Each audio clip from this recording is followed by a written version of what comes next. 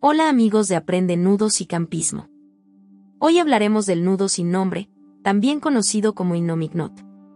Este nudo fue concebido para amarrar barcos en el Pacífico durante la Segunda Guerra Mundial y recibe su nombre de la palabra latina innominatus, que significa sin nombre.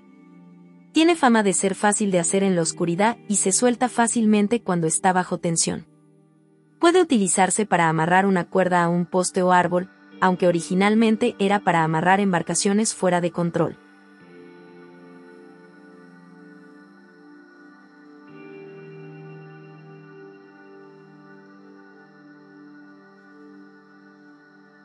Gracias por ver el video, no olvides darle me gusta y compartirlo.